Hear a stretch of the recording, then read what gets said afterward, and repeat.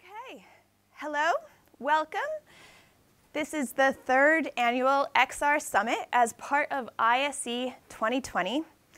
I am futurist Amelia Kallman, and it is a great honor and pleasure to be your host today. Thank you for having me. So today we are going to take a deep dive into all things XR, extended reality.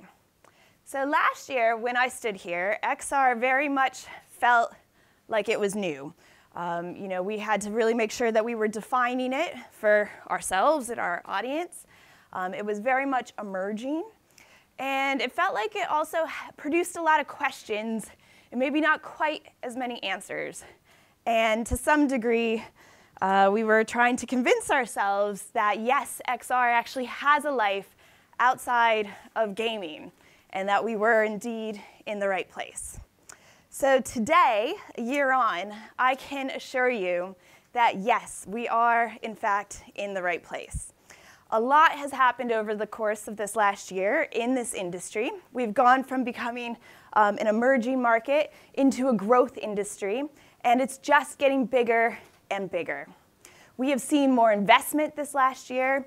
We have seen significant improvement when it comes to things like hand tracking, head tracking, motion tracking, eye tracking.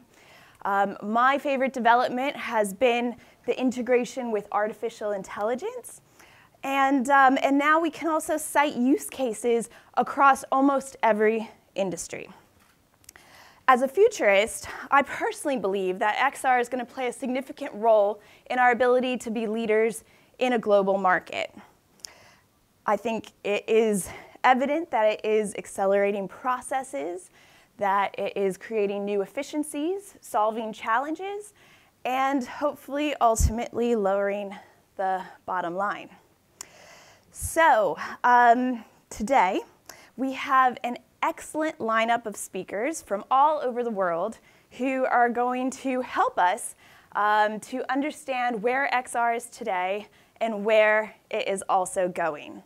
I think it's important to remind ourselves too that technology actually moves at a pace that's faster than humans adapt and adopt. So everyone in this room is going to play a significant role in the shape of the XR industry and where it is going in the future, not just for our brands and bosses, but also for the generations to come.